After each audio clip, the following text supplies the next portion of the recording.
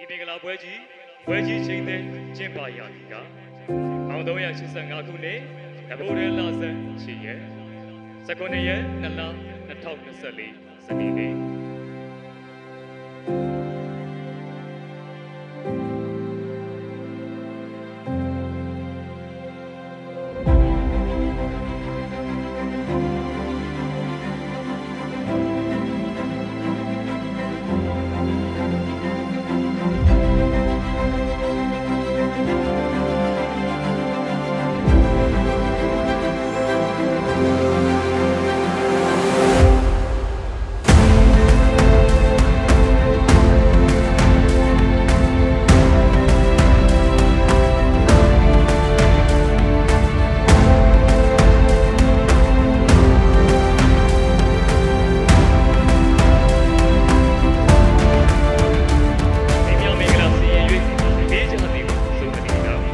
ဒေမြောင်မင်္ဂလာဆယ်ပါးရှိနေတဲ့